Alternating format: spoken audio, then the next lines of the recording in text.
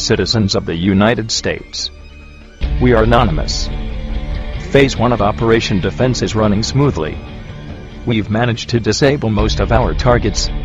Our targets include any corporation involved in the support of the Cyber Intelligence Sharing and Protection Act, and those who were responsible in creating it. Some of these targets will include the following.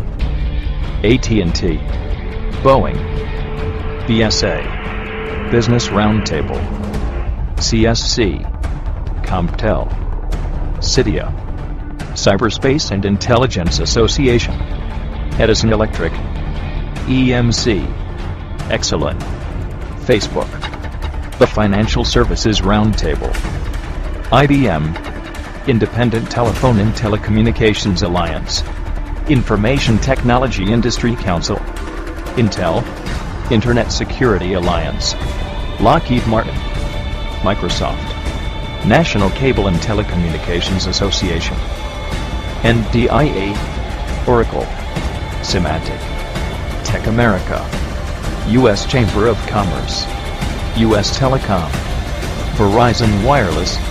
Attacks will not be limited to distributed denial of service attacks. Phase 2 will commence on the 1st of May and will include coordinated physical protests outside locations belonging to the corporation's foresaid. We will defend our home. Operation Defense engaged. We are anonymous. We are legion. We do not forgive. We do not forget. Supporters of CISPA, you should have expected us.